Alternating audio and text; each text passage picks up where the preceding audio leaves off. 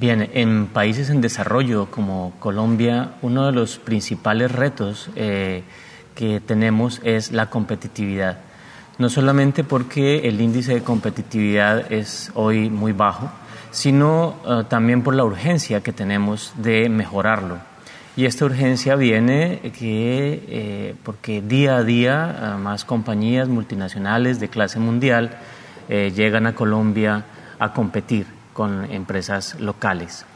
Eh, en, este, en este caso, la, amplia experiencia de Kaizen Institute alrededor del mundo, eh, pues asegura que este modelo de negocio, este modelo de administración de negocios centrado en la cultura de la gente funciona muy bien, no solamente en Estados Unidos, en Alemania, en Japón, sino también en países como Colombia, Brasil, India, México, eh, países que están en vía de desarrollo.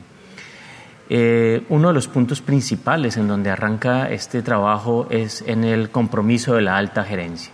La alta gerencia tiene que comprometerse con la transformación de su compañía, no solamente una transformación física, sino también de comportamientos de su gente y de la profunda cultura que hay al interior de la compañía.